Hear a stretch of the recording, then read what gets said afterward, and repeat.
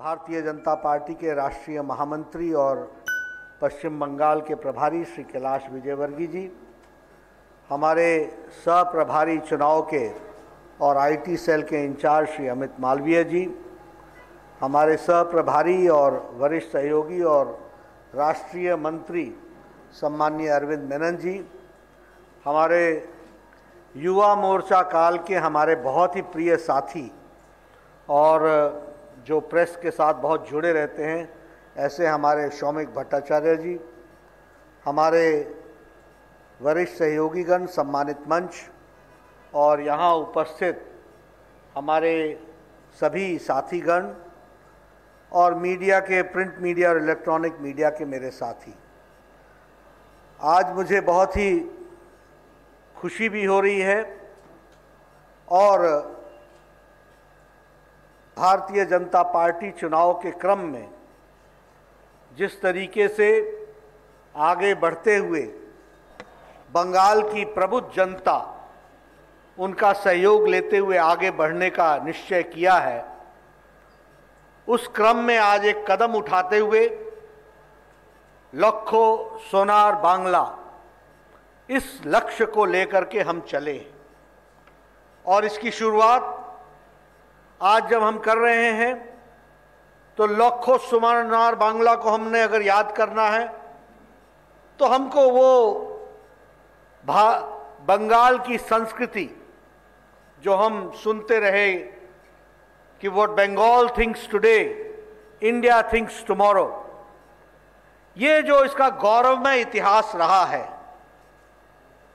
जिसमें स्वामी विवेकानंद जी रविंद्रनाथ ठाकुर जी, बमकिंचन चैटर्जी जी, नेताजी सुभाष चंद्र बोस, श्यामा प्रसाद मुखर्जी, ईश्वर चंद विद्यासागर, इन सब लोगों का जो कंट्रीब्यूशन रहा है, उस कंट्रीब्यूशन को समावेश करते हुए सोनार बांग्ला कैसे बनाया जा सकता है, इस बात का प्रयास हम करने का काम कर रहे हैं। और इसीलिए अगर हम महिला शक्ति की बात भी करें तो हमारे स्वतंत्रता सेनानी कल्पना दत्ता, कल्याणी दास जी, इनको भी याद करना हमारी जिम्मेवारी बन जाती है। अगर हम सोनार बांग्ला की बात करें और इस कैंपेन की बात करें तो हमारी कोशिश है कि बंगाल की जनता ये सोनार बांग्ला बांग्ला बनाने में किस तरीके से योगदान कर सकती है। क्या उसकी आशाएँ हैं, क्या उसकी आकांक्षाएँ? हैं उसको हम समावेश करना चाहेंगे। और हम हमेशा ये मानते हैं कि सारी बुद्धि सिर्फ़ हमारे पास है, ऐसा नहीं है। बंगाल की प्रबुद्ध जनता जानती है कि किस तरीके से सोनार बांग्ला बन सकता है। इसलिए उनको समावेश करना, उनको साथ में जोड़ना और उनके विचारों को, उनके सुझावों को साथ लेके चलना ये हम लोगों ने तय किया है। इसी कार्य को लेते हुए लगभग दो करोड़ से ज़्यादा हम सुझाव लेने वाले हैं। एक व्यापक सुझाव लेने वाले हैं, दो करोड़ से ज़्यादा। और उसी तरीके से विभिन्न स्तरों पर लोगों का सहयोग मिले, सुझाव मिले, इसको हम करने वाले हैं। और इसके लिए ये जो आप सुझाव की पेटी देख रहे हैं।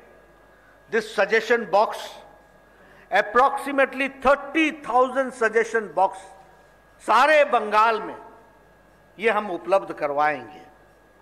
हमारे जो 294 विधानसभाएँ हैं, सभी विधानसभाओं में लगभग 100 पेटियाँ, सुझाव की पेटियाँ रखी जाएँगी।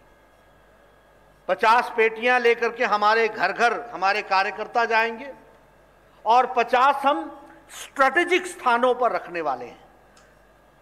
प्रोमिनेंट स्थानों पर रखने वाले हैं, प्रमुख स्थानों पर रखने वाले हैं, ताकि हम उसका, उनका सजेशन ले सकें और उसको हम उस तरीके से आगे बढ़ाएँगे। उसी तरीके से आज मैं एलईडी रथ का भी श्री गणेश करने वाला हूँ। ऐसी एलईडी रथ लगभग 294 हर विधानसभा के लिए एक रथ की व्यवस्था की गई है, जिसमें हम डिजिटली सुझाव दिया जा सके, इसकी व्यवस्था भी करेंगे। और साथ ही साथ हमारा एक मिस्ड कॉल नंबर होगा, nine seven two seven two nine four two nine four. ये इस मोबाइल पर हम मिस कॉल करके हम सजेशन अपने दे सकते हैं। यही नंबर व्हाट्सएप के तरीके से इस्तेमाल हो सकता है और हम व्हाट्सएप संदेश दे सकते हैं। तो कि हमारे को लोगों का सुझाव मिल सके। और इसी तरीके से www.lokkosonar.bangla.com इसमें हम अपना सुझाव दे सकते हैं। इस तरीके की डिजिटली व्यवस्था भी हम लोगों ने की है। मित्रों, ये कैंपेन तीन मार्च से लेकर के 20 मार्च तक हर विधानसभा में यह कवर करेगा। और हमारी सुझाव की पेटियाँ ये तीन मार्च से 20 मार्च को और 20 मार्च को हम इसको पूरा करने वाले हैं। जिस बात को प्रधानमंत्री जी ने कहा, असोल परिवर्तन, उस असोल परिवर्तन के लिए सोनार बांग्ला का सपना कैसे पूरा किया जा सकता है, इसको हम प्रयासरत रहेंगे। यही नहीं, जब हम असोल परिवर्तन की बात करते हैं तो आयुष्मान भारत को हम लागू करेंगे और चार crore seventy sixty seven lakh people who are entitled to be covered under Ayushman Bharat and getting a facility of five lakh rupees health cover every year इसकी भी हम व्यवस्था करेंगे। जब हम आयुष्मान भारत की बात करते हैं तो साथ ही साथ प्रधानमंत्री किसान सम्मान निधि, लगभग देश में 10 करोड़ किसान हैं। तिहत्तर लाख के आसपास किसान बंगाल में हैं। प्रधानमंत्री किसान सम्मान निधि की छह किस्तें सात किस्तें दे दी जा चुकी हैं। लेकिन बंगाल का किसान इससे वंचित रहा है।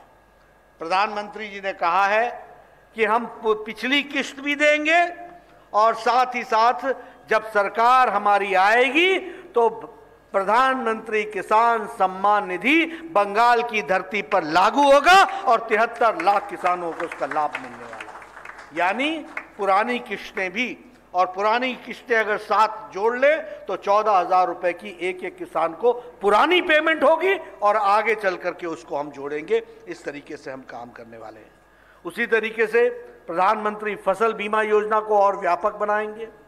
उसी तरीके से सेवेंथ पे कमीशन को, यहाँ सेवेंथ पे कमीशन को लागू करेंगे, ताकि हमारे इंप्लॉय भाई, जो उससे वंचित रह गए हैं वो सेवेंथ पे कमीशन का भी लाभ उठा सकें। और बंगाल में एक नई संस्कृति हम देने वाले हैं। No cut money no cut money भ्रष्टाचार मुक्त, विकास युक्त बंगाल हम देने वाले हैं। और उसी तरीके से रेफ्यूजी वेलफेयर के स्कीम्स को हम लॉन्च करेंगे। विशेष करके मतवा समाज और नमो शूद्र, हमारे जो समाज है, उनके लिए हम हेल्थ के लिए पुश देंगे, एजुकेशन के लिए पुश देंगे, ग्रेजुएट और पोस्ट ग्रेजुएट के लिए हम स्कॉलरशिप्स की व्यवस्था करेंगे।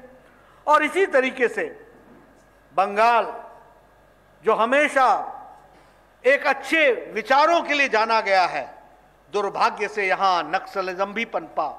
उस नक्सलिज्म को समाप्त करने के लिए हर प्रयास को हम पूरा करेंगे, यह भी हम आपको बताना चाहते हैं। बंगाल जो आज भ्रष्टाचार की दृष्टि से हम सबके सामने कई तरह की चर्चाएँ आई हैं, उसको हम भ्रष्टाचार मुक्त रखेंगे और उस भ्रष्टाचार मुक्त का हम वातावरण बनाएँगे। उसी तरीके से ये जो इलीगल कोल माइनिंग हो रही है, इसको भी हम रोकेंगे। इसी तरीके से ये सिंडिकेट संस्कृति को भी हम रोकेंगे और उसी तरीके से हम ग्लोबल मार्केट में लोकल प्रोडक्ट को पहुँचाने का प्रयास करेंगे। ग्लोबल मार्केट में लोकल प्रोडक्ट पहुँचे। बंगाल का अपना हुनर, जिसको हम आज़ादी के पहले से जानते थे, आज वो सारे का सारा हुनर उसको कुंठित कर दिया गया, उसको रोक दिया गया, उसको समाप्त करने की कोशिश की गई है।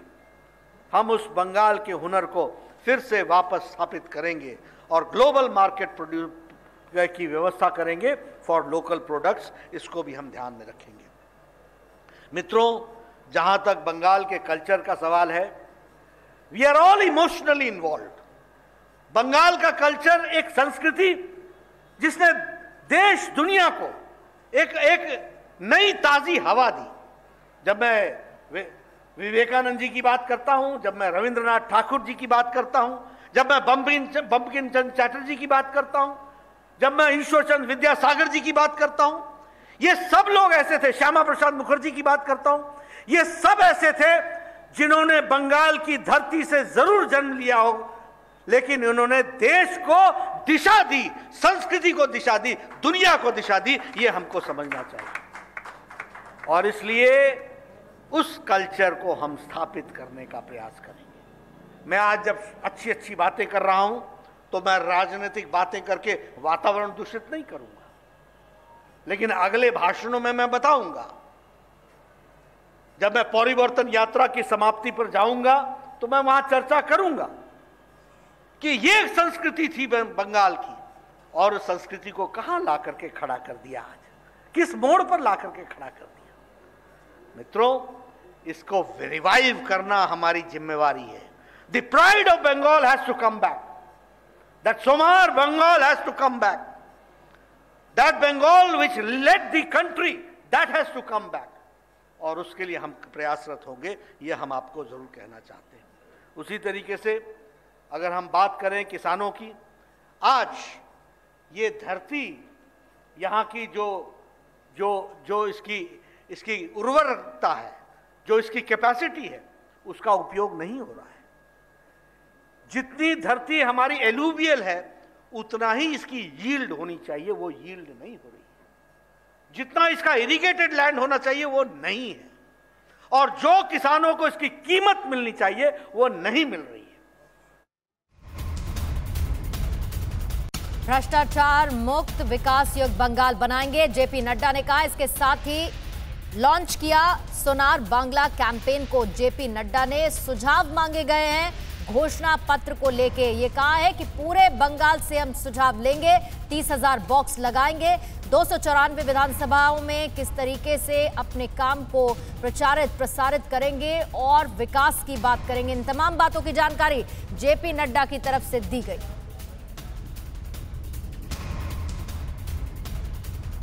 फ़िक्र आपकी, सोमवार से शुक्रवार, रात 9 बजे, सिर्फ़ टीवी 9 भारतवर्ष पर।